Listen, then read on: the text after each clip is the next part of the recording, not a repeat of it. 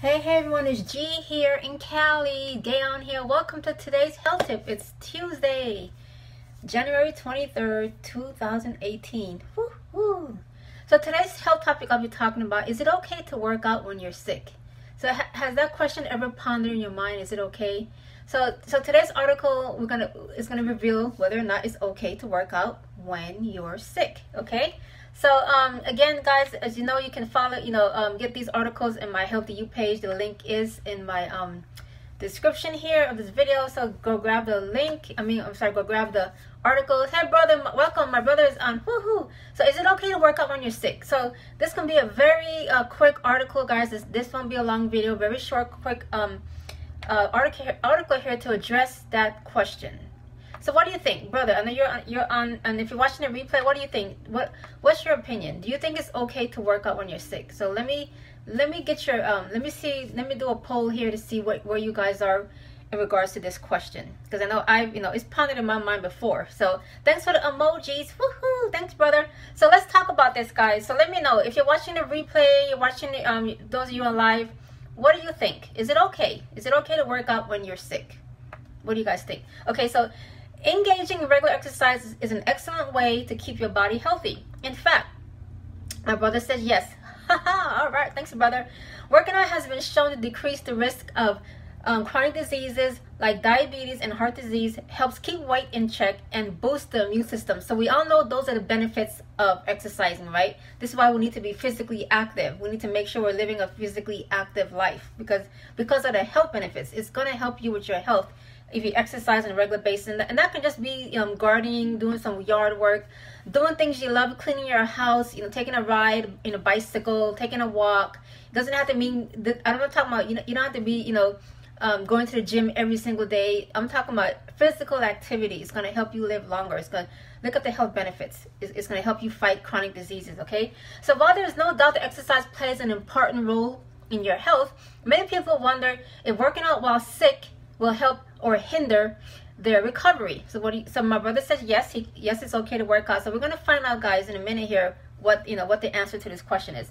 However, the answer isn't black and white.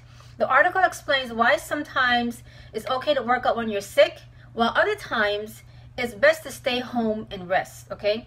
A speedy recovery is always the goal when you're sick, but it can be hard to know when it's okay to power through your normal gym routine and when it's best to take a few days off.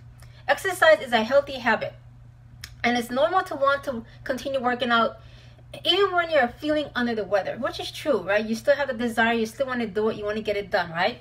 This can be perfect, perfectly fine in certain situations, but also detrimental if you're experiencing certain symptoms, okay?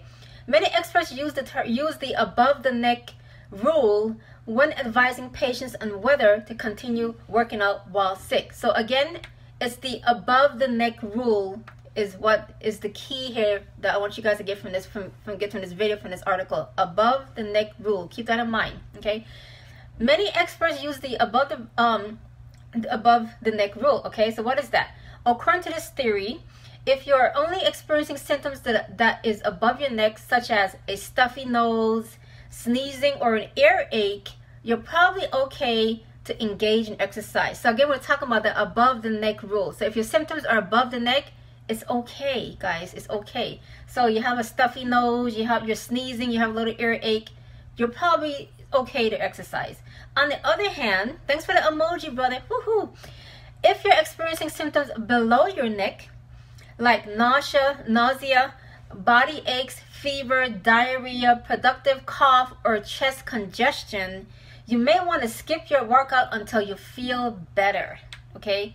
A productive cough is one in which you're coughing up, you know, stuff. So I don't want to get into detail, but um, but that's so, so like I stated, very quick article, right to the point. I love right to the point. Me, that's just me. So I want to give you guys a direct, right to the point answer. So, so what's so what's the takeaway here? So again, let's let's take guys a quick article. So, so what's the summary? To summarize, some experts use the above the neck rule to determine whether working out while sick is safe. Exercise is is most likely safe when symptoms are located from the neck up. There you go. Right? It, this this is this wasn't a hard you know um, answer here. So again, if your symptoms are above your neck, stuffy nose, little earache, you're okay to work out. But if it's below the neck, chest congestion, you're coughing, you have fever, you have diarrhea, no, not a good idea. Get rest.